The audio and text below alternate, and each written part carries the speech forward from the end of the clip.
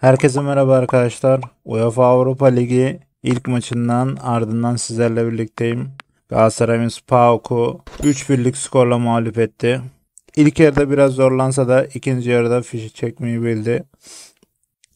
İlk yarıya çok iyi başlamadık. Orta sahada çok top kaybettik. Bu yüzden oyun kuramadık. Aynı şeyleri PAOK için de söyleyebiliriz.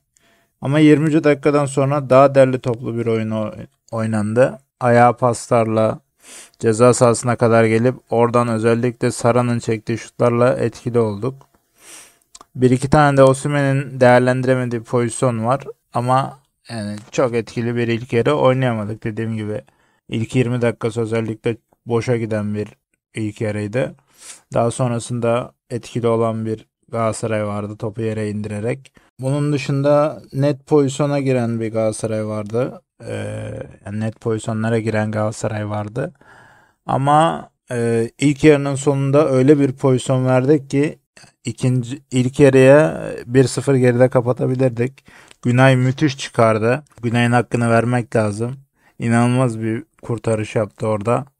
Ee, yani o kurtarış olmasaydı belki de şu anda bu kadar mutlu bir şekilde konuşmuyor olacaktım sizlerle.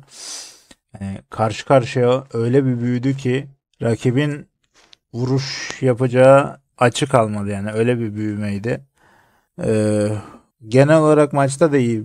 Birkaç tane de e, net diyebileceğimiz pozisyonda güzel toplar çeldi. Onun dışında çok büyük bir hatası olmadı Günay'ın.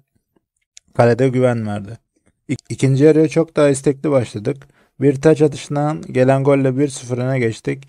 Ee, taç atışında tam kimin ortaladığını göremedim ama Osimhen'in vurduğu kafa vuruşu çizgide Baba Rahman topa müdahale etmeye çalışırken e, kendi ağlarına yolladı. Gol yine Osimhen'e yazılmadı yani.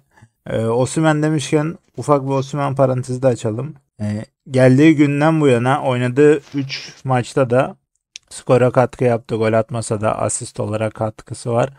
E, ama asistin ziyade asistten ziyade oyun olarak da çok etkili bir Osimhen görüyoruz. Ee, bir önceki videoda tekrara düşeceğim ama e, sırtını dayıyor, pas opsiyonu oluşturuyor. E, takım arkadaşlarını oynatıyor. Pres yapıyor önde. Müthiş bir pres gücü var bir kere. O fizik, o boyla inanılmaz hava hakimiyeti ve pres gücü var. Yani daha %60 ile oynuyor diyorlar. Genel kamuoyu bu yönde fikir birliğine varmış. Ben de aynı kanaatteyim. Eğer ki %100'üne uluş, ulaşırsa çok can canlar yakacağını söyleyebilirim. Ki Okan Hoca bu maçın son 10 dakikasında ufak bir deneme de yaptı. Ondan da bahsederiz sonlara doğru. E, bu golle birlikte tam farkı açacağız derken Yunus rakibini takip etmiyor. Tabi Yunus'un takip etmemesinden önce e, hücumda kaybettiğimiz top orta sahadan geliyor. Yunus rakibini takip etmiyor. Bizim sol kanadımızdan rakibin sağ kanadından içeri kat eden oyuncunun önüne top bırakılıyor. İçeri çevrilen top Günay'ın müdahalesi e, rakibin önüne düşen top ve Konstantelias için kolay bir gole dönüşüyor. Dakika 67'de. 67'de bu golü yedikten sonra hiçbir şey olmamış gibi devam ettik. Ben bu e, davranış çok beğendim. 1-1 oldu. Hiçbir şekilde paniğe kapılmadık. Ee, yine kendi oyunumuzu oynamaya devam ettik. Ve akabinde sağlı sollu ortalar yaptığımız bir sekansta sağ kanattan yaptığımız ortada arka direkte Mertens kafayla topu içeri çevirdi. Yükseklik kazanan topu Osimen indirdi kafayla. Yunus Akgün penaltı noktasının üzerinden çok sert bir vuruşla topu ağlara yolladı. Yani kaleciyi, oyuncuları hepsini içeri soktu bir nevi. Bu golden sonra bu gol gelmeden önce Okan Hoca Icardi ve Kerem Demirbay'ı oyuna alacaktı.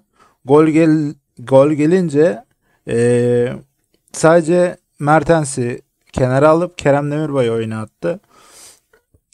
Bundan bir 5 e, dakika sonra da e, Yunus kenara geldi. Batshuayi oyuna girdi ve Barış kenara geldi. Berkan oyuna girdi. Bu da neye yol açtı?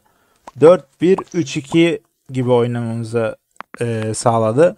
Sara sağ iç, e, Berkan sol iç, arkada Torreira, önlerinde Kerem Demirbay gibi. Daha çok baklava 4-4-2 de diyebilirsiniz buna. Ama ben 3 e, tane 8 ile oynadığımızı varsayarak 4-1-3-2 gibi düşünüyorum. E, Okan Hoca'nın yeni oyun formasyonunu. Çünkü e, stoperde üçlü stoper oynarsak bu sefer e, yedeğimiz yok. Hani birine bir şey olduğu zaman onun yerine oynayacak oyuncumuz çok az. E, bu da bu formasyonu daha e, kabul edilebilir kılıyor. Çünkü orta sahada hem forvet arkasında oynayabilen bir Zalai var. Yunus Akgün de aynı şekilde forvet arkasında oynayabiliyor.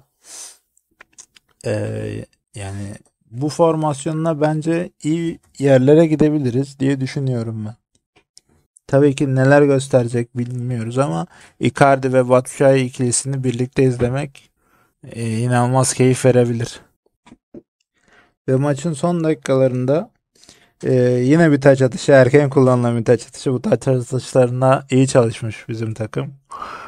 E, Kerem Demirbay son çizgiden içeri çevirdi. Penaltı noktasına doğru.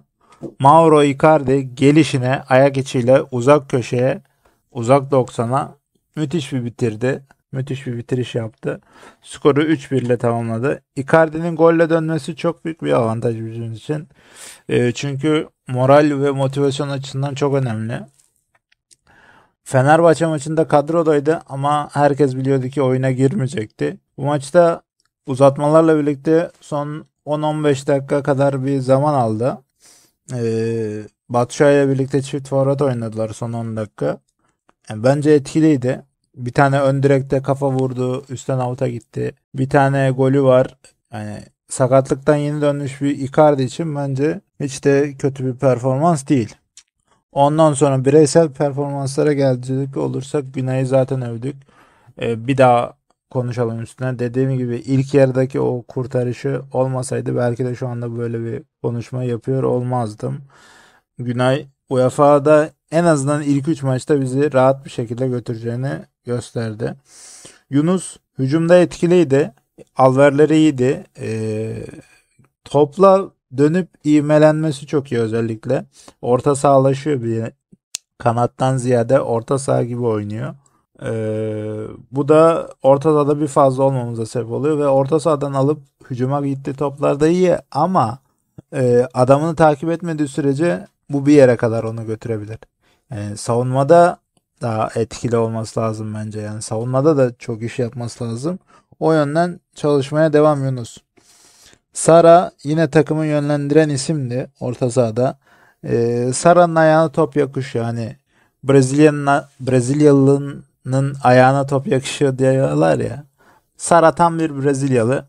Bir de bunun üstüne İngiltere'deki fizik gücü de almış. Yani yıkılmıyor da. Hani yeri geliyor kısa oynuyor, yeri geliyor kanatları uzun açıyor. Ee, bu oynama tarzı da bizim e, oyunun çeşitliliğine yol açıyor. Hani e, yani Saray'ı övmeye devam edeceğiz gibi duruyor. Osimhen'i dediğim gibi yine çok istekli ve arzulu gördüm. Bence giderek yükselecek bir form grafiğine doğru emin adımlarla ilerliyor. Barış Alper e, Fenerbahçe maçında da çok sahada yoktu. Bu maçta da yoktu. Açık söylemek gerekirse ben e, geçen hafta son sonunda oynanan lig maçında da beğenmemiştim kendine kendisini ama gol atmıştı. Erteleme maçında da bir golle oynadı. Ama son iki maçtır yani kötü bir performans sergiliyor. Onun dışında Davinson yine her zamanki gibi çok iyiydi. Ee, savunmada bizi öne çıkaran isimdi. Jakobs'u Jakobs'a gelelim artık yani. 3-4 maçtır izliyorum Jakobs'u. İlk iki maçlarında çok konuşmak istemedim çünkü çok bir fikir sahibi değildim. Bu maçla birlikte ve Fenerbahçe maçıyla birlikte gerçekten ayağı sağlam yere basıyor. İkili mücadelelerde yıkılmıyor. Ve pas kalitesi de hiç fena değil yani. Orta kalitesi, pas kalitesi de hiç fena değil. İyi bir bek kazanmışız yani. Kön ve Angelinho'dan sonra iyi bir bek kazanmışız. Savunması da hiç fena olmayan bir bek. Ee, bir de sağ beke Yelert'e oturttuğumuz zaman müthiş işler yapabiliriz yani. Benim kafamdaki ideal kadro Muslera, Yelert, Davinson, Abdülkerim Jakobs, Torreira, Sara Kerem Demirbay. Ee, oraya bir tane de üçüncü olabilir. E, ileride de Icardi Osimhen yani. Benim hayalimdeki 11 bu ve müthiş bir 11 olabilir yani. Müthiş bir şey izleyebiliriz. Başka var mı diye bakıyorum atladığım bir şey. Yok. Ee, Avrupa Ligi'ne iyi başladık. 3 puan önemlidir. Yeni formatta 3 puan önemlidir. Bir sonraki videoda görüşmek dileğiyle. Kendinize iyi bakın. Hoşça kalın. Kanala abone olmayı, video ve beğenmeyi unutmayın. Sizleri seviyorum.